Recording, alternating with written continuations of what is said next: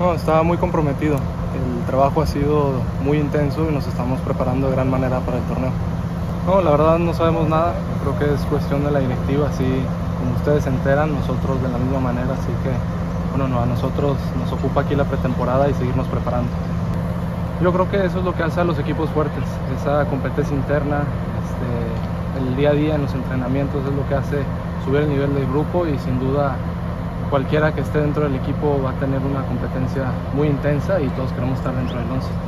Yo creo que la idea del turco la llegó a imponer desde los últimos partidos de, la temporada pasada.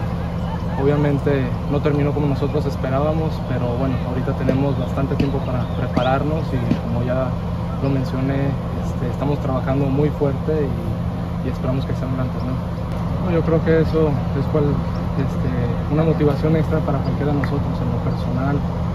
Me siento con mucha confianza y muy arropado por el cuerpo, por el cuerpo técnico del Turco Perdón y este, trabajando fuerte igual que todos mis compañeros para, para ganar un lugar. Bueno, yo creo que aún son entrenamientos, este, no nos ha dado una formación base todavía, yo creo que en los partidos de preparación es cuando nos vamos a ir dando cuenta, pero bueno, estamos, estamos a, la disposición del turco y a que sea lo.